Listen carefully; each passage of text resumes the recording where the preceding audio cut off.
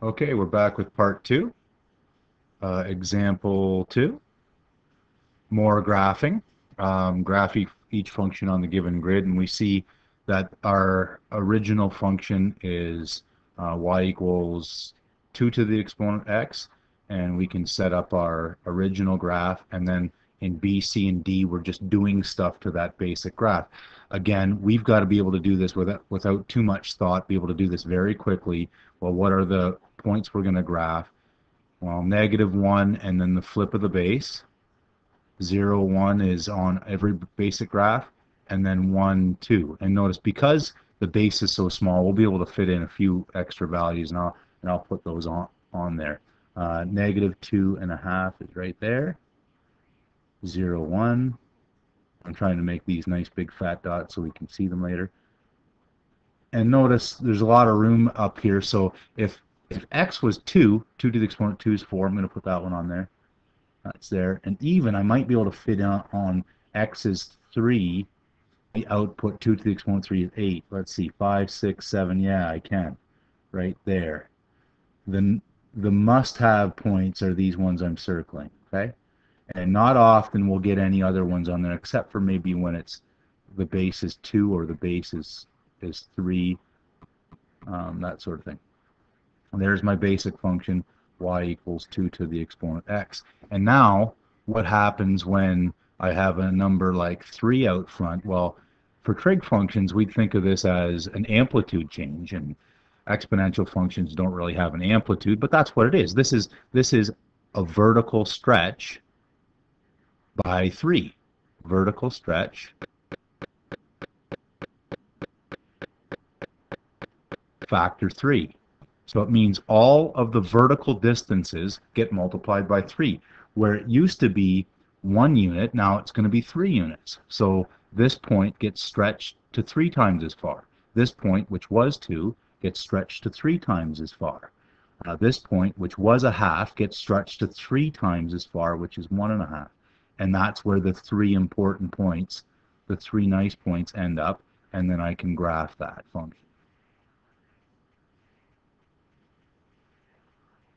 And we've done this, you did this last year with parabolas, and we did this sort of thing with, with trig functions already, and you did them last year with a few other types of functions, including including exponential functions. So I'm, I'm guessing that this isn't going to be too much of a surprise to you. Um, this next one here, the minus 1 is in with the x, right? So we know something's going to go on in the direction of x. Something's going to go on horizontally. And remember, whenever when we're dealing with x, it's opposite that we think. We think minus 1 sounds like it's left, but it's actually going to be right. We're going to move right 1.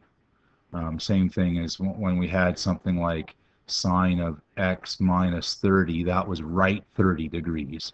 Um, this is right 1 unit. So this original function, this black one, all the nice dots are going to get moved right 1 unit. So this one gets moved to here, this one moves get, gets moved to here, this one gets moved to here. Everything gets moved right one unit, right one unit. And then there's the new function. y equals 2 to the exponent x minus 1. All right, lastly, what color? I'm running out of the colors. Blue, why not? Um, this minus 1 is outside of the x, right? It's outside it's affecting y values. So what's this? This is a move down one, down one. And so all the points get moved uh, down one from the original graph, move down one. One is two units vertically, down one. Down one gets moved to there, down one. And I know your graph is probably get starting to get a little bit confused, but that's fine. Um, Notice what else happens here. What else happens here is our asymptote, it gets moved down one too. So that's a good thing to, to, to draw in there is a dotted line to show where the new the new um, asymptote is. And I'm going to draw that in in blue. I, I could have just used my, you know, my pen, but um, that's where the new asymptote is at negative 1. It was y equals 0. It got moved down 1 to negative 1. And there's my new new function.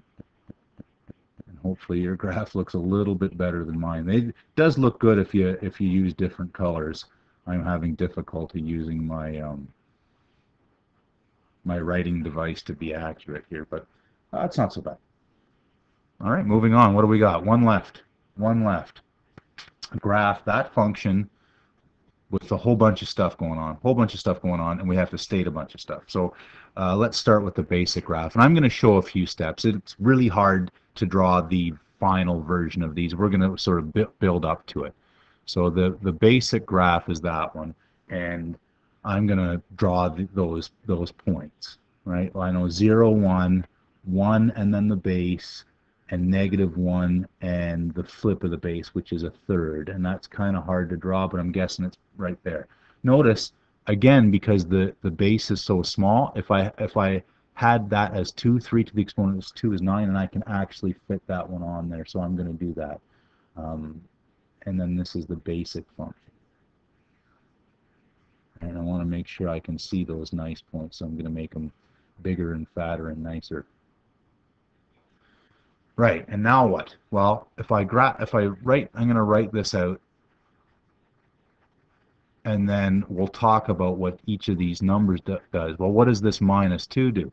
It's not in with the x, so something's going to go on vertically, right? This is a vertical flip, or reflection is the fancy math word, and it's also stretched by a factor of 2.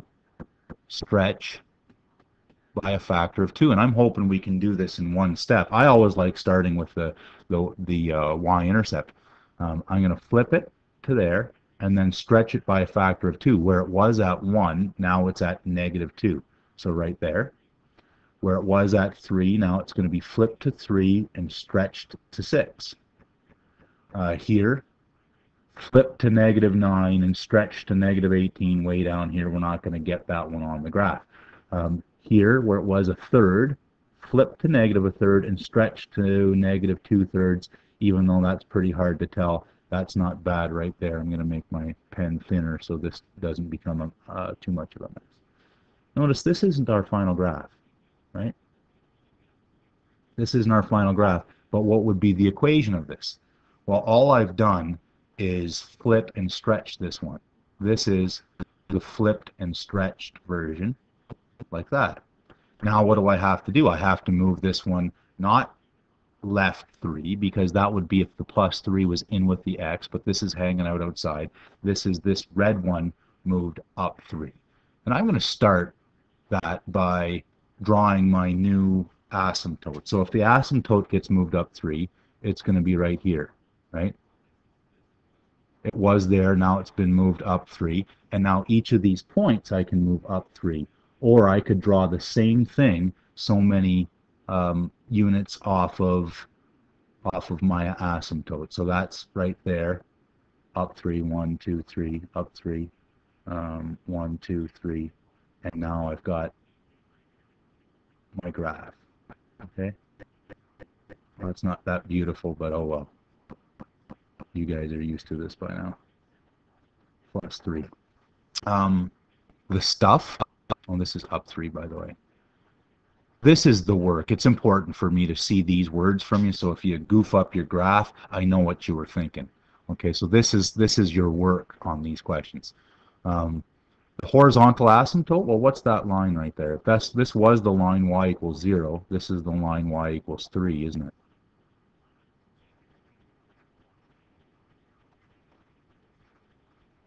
Uh, what's next? Y-intercept. Y-intercept. It looks like on the graph, although I did a pretty horrible job of it, looks like it's 0, 1. Notice if you have a tough time seeing that, you could also just calculate it, right? The y-intercept happens when, when x is 0. In the final function, when x is 0, I have this expression.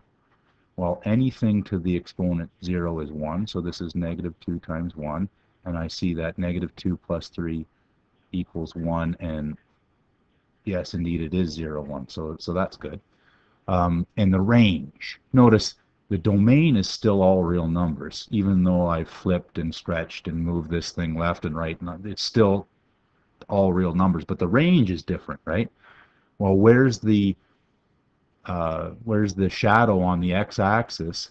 Well, or on the y-axis rather. For this green function, I can see it goes up here and then all the way down, right? With never quite becomes y equals 3. That's the asymptote. So the range then is y is less than 3. All the numbers less than 3. And notice that this function is always decreasing as well. The function is always decreasing. I think this is, that's a question that your book asks once in a while. Um, that's it. Uh, again, your textbook didn't do a very good job with this uh, graphing business, uh, so the homework tonight is on a handout. You don't write on the handout, so I can use that again next year. Um, good luck.